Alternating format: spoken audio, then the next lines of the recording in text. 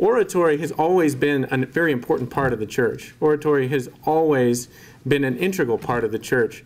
And it's good that we have these kinds of competitions and these kinds of events because it reminds us how powerful our words are. Um, uh, one of the speakers talked about cyberbullying, and that's another reminder how powerful our words are. They're not just noise, but they carry a lot of weight. So, to you, to those of you who maybe decided, man, I don't, I don't think I want to, I don't think I want to go through the work uh, of doing a, uh, a speech like this. I don't think I want to go through the hassle of the oratory, uh, oratorical competition. Uh, I would, I would encourage you to, to, uh, to do it next year, because the power to persuade and the power to persuade people for Christ is not only in line with our tradition, but is an important part of every Christian's life.